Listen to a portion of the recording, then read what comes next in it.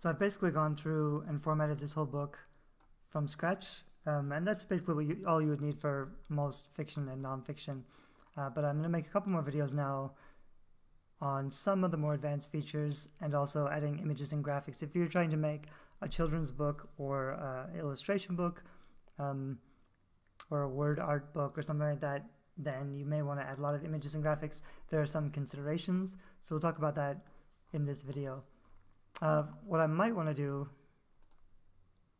I'll probably zoom out a little bit just so it's a little easier to see everything. Uh, and I'm actually just going to start dragging pictures in to see what happens. So here are some children's book illustrations I found online. Of course, if you're actually doing an illustration, a children's book illustration, you're going to have to hire your own illustrator and make sure you have all the rights that you need.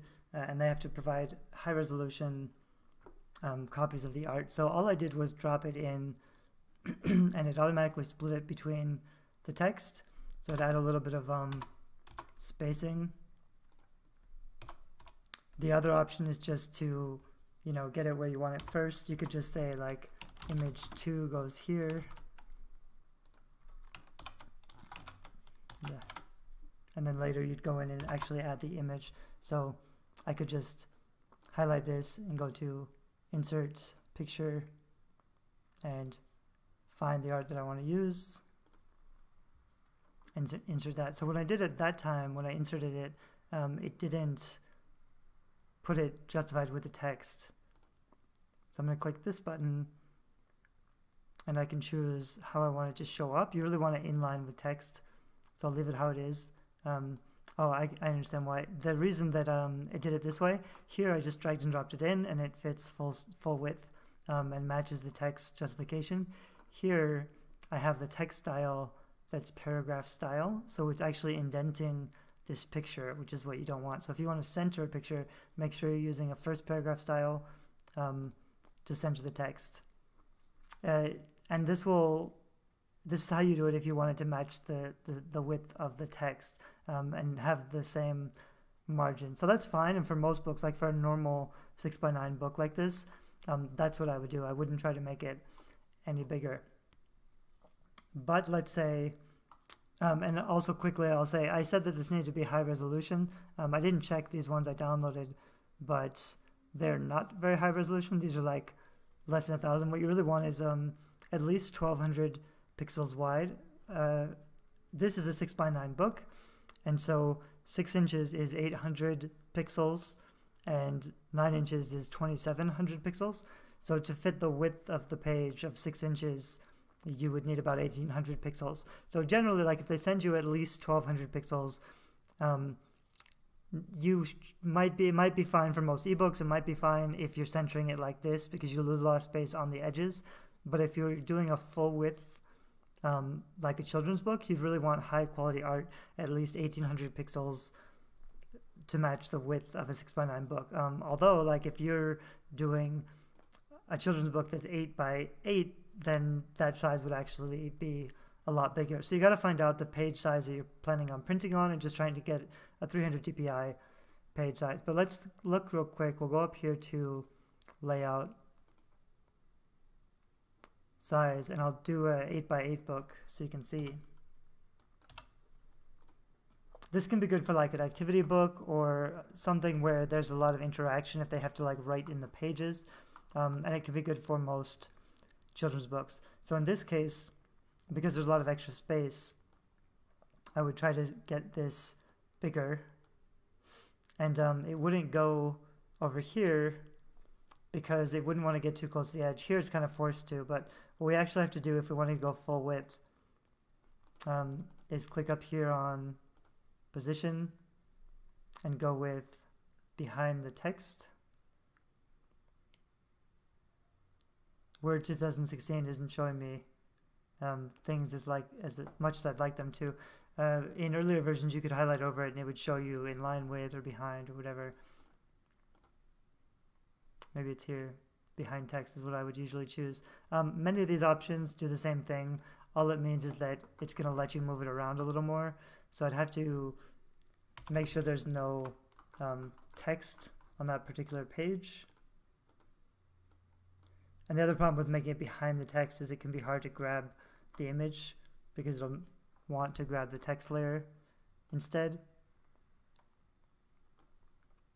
Anyway, but if I do it this way, this is basically a full width image. Um, if you are using CreateSpace to publish, and they do do a decent um, full color picture, it's expensive, so it wouldn't work for like a full, uh, a massive book.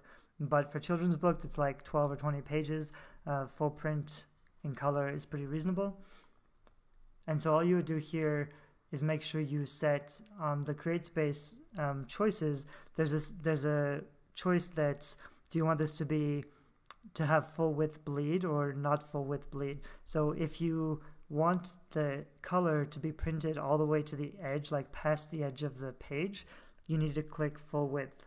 Um, and they're a little picky about it. Sometimes it takes a few times, or you have to uh, talk to customer support before they get it to set up the way that you really want it. They're a little picky with their settings and with the type of, of books. I've had some books that I'm sure don't go full width, but they still say I've chosen the wrong setting for whatever reason. It usually just means like there's something that's too close to the edge of the page. And so if you're doing a full width picture like this, you need to set that option on CreateSpace. But otherwise, like some other printers, it might not even be a big deal. So if I want to add pictures, this is basically what I would do. Um, I could do that for, I'm just going to copy and paste the same picture because it's faster. And then what you could do if you were writing a children's book or a picture book is just write the text right over the picture. And all I would do is make it a little bigger and go up here to text color and change the color.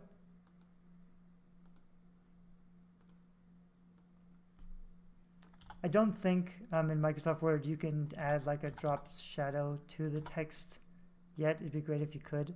Um, actually, they do have some. Yeah, they do have some styles. So I could just go up here and add a drop shadow. Whoops.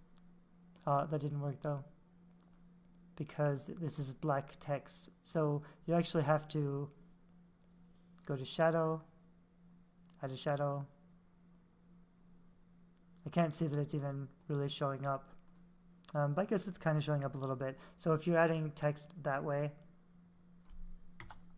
you could actually lay out a pretty decent children's book um, straight in Microsoft Word without any other software.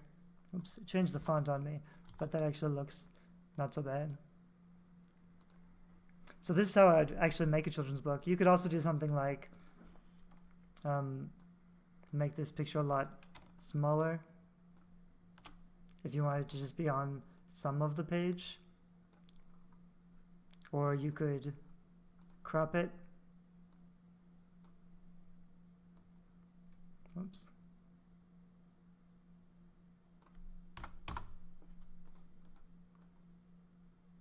I'm going to put this back in line with text. Actually, no.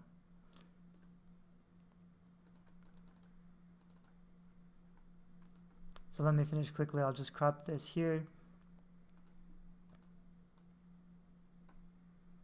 and then I could make it something like this and then still have room on the bottom of the page for some text.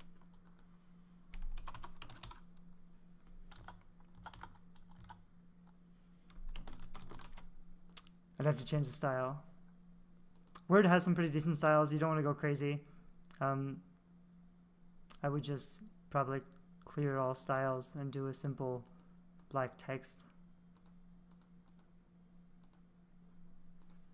Anyway, so you could add text out like that at the bottom of some white space underneath your picture for a children's book, and that works pretty well also. Anyway, for adding pictures, that's basically what you want to do. Just you can drag it in there, you can set them up how you want, and then add either add text around them or add text um, over the picture. Both can look pretty good.